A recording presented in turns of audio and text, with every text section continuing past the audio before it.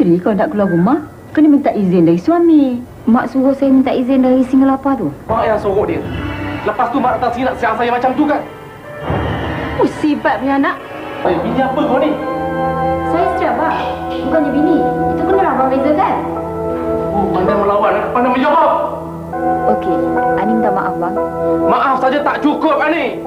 Kau hentam dia, makin hamon dia, kau ingat tak salah?